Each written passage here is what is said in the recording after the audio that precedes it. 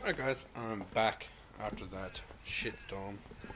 Um, so I've replaced the, the timing belt and that pulley. That pulley now has a lip on it, on the back of it. Um, engine runs fine, but we did flat tow it back for about 3 k's. So I've destroyed the gearbox, the auto chains. Um, I was driving okay, and then it would just start shuddering in the rear. So what I did was I put the fuse in the fuse box, which makes it front wheel drive, and it drives fine in front wheel drive. Um, so I can drive around. I fixed the oil leak that I had on the oil feed for the turbo. I just put another washer under the fitting, which pushed it up a little bit um, because the actual fitting for the braided one was a little bit too chunky for the top of the uh, turbo. Now it fits good, it's not leaking. Um, fixed the water leak. Was, um, I did on that little bypass from the heater pipes. That's all fixed, so there's no water leak now. Um, just got a small oil leak from the sandwich plate. So I've got a deep socket, a 24 mil impact. So it's just a hex. So gotta get the filter off, tighten that up, nip it up, and it should be good. Um, hopefully down 30 k's maybe on the car now. So it's been a couple of days since I videoed last. I was cracking the shits. But been checking some of the wreckers. The wreckers that's close with uh, 2000, 2001 Impreza. It's automatic and it's got 85,000 Ks on it. So I might go check that out today. Uh, reasonably cheap. It's one of the cheaper um, automatic gearboxes at the wreckers, which I found pretty strange.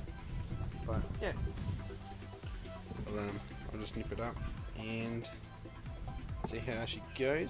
I'm not going to be driving the Forest though, still driving the Peugeot, just until this is all good. Also, had a little visit to Lee at Melbourne Performance Centre in Croydon. Um, I've done a couple of my tunes before on my GTIRs. Um, they recently moved to that Burke Street here. Yeah, so I went to Melbourne Performance Centre in Croydon. Um, they're pretty good there. They've done a couple of my clients' cars as well.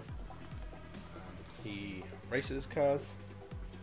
Um, they're really an Audi specialist for racing. So I think they did a lot of the, um, the R8s recently. I think it was for the Australian Grand Prix. Um, and they've done rally stuff as well. So they know their Subarus. Um, also, they got all drive dyno. Um, was talking to Lee down there for a little while.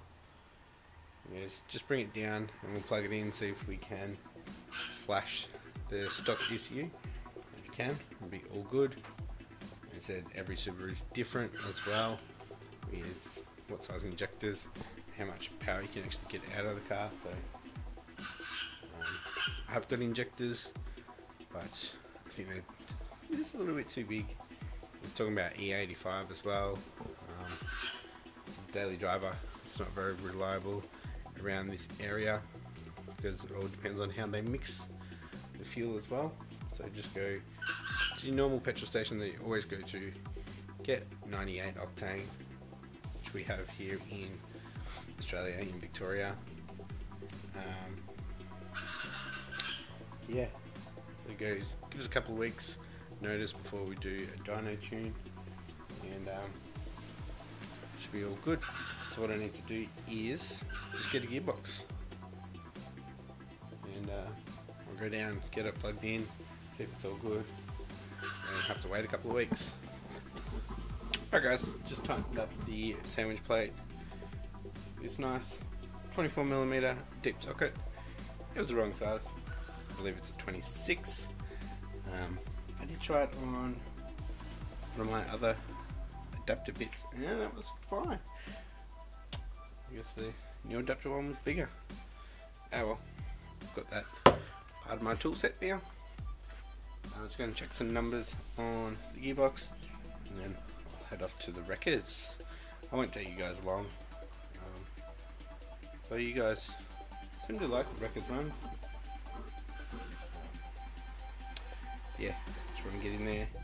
Maybe if it looks good, great numbers, um, I'll start to take it out. Like I'll loosen up all the bolts and everything, and probably come back tomorrow and take it out. But that'll be in this episode. Also, lost a little bit of oil while I was changing over this, or tightening up the sandwich plate. I just checked out the oil. It's got a 30, 40 k's on it, and it's looking good. Looking good so far, even with what happened. Um, probably put an extra 15 k's on since um, what happened, and also with that idling. I know I shouldn't have it idling with a built motor just yet. I need to bed it in, but can do that to fill up um, the fluids. So that's been running. Probably been running for a total of half an hour, 40 minutes. Yeah, oil's looking good. Alright guys, it's a new day and it's freaking cold. Um, I found a gearbox um, just up the road at Pick Park. Um, it's the only one that all the numbers matched. So, won't be getting it today, which is a Friday, so probably over the weekend. Hopefully, if the weather's good. Raining and windy and cold and awful. I was going to go for a little drive around in the Forester, um, in front wheel drive. Um, see how it goes. I'll stick close to home. But yeah. Just came back from drive, probably put about 20 k's on the car. It's all good.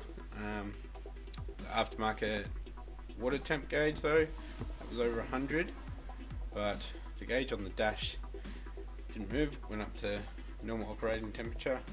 So I'm not sure if it's the the gauge that I've got that's faulty or what. Um, it's always gone up to like 95. I know it shouldn't be sitting at 95. So I got a, like a, what is it, 78 degrees thermostat in there. Unless there's some air in the system, I guess. It's heating up. Might head down to the part shop and see if there's um, an adapter you can fit on where the radiator cap goes. so I can have it up a bit higher so I can feel it and get all the air bubbles out. I have like a little plunger or something, you can stop it. Um, it's front wheel drive, lost traction a couple of times, it is a bit wet out there. Um, yeah, drives good though.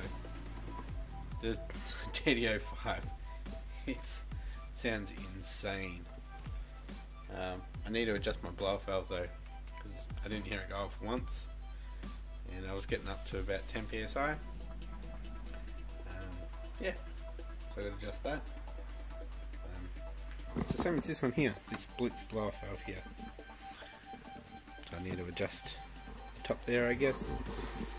Um, yeah, it is Saturday, just turned to afternoon.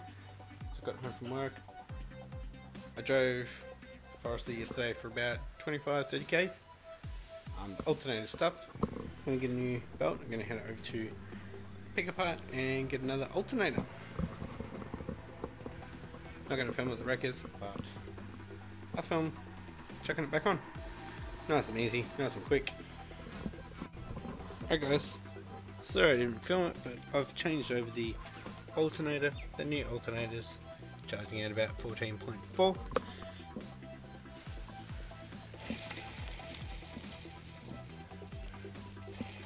Yeah, not too good. That's all fixed now. It's running great. Um, except for the gearbox. Can only drive it in front wheel drive. stay tuned for next episode when uh, we fix the gearbox.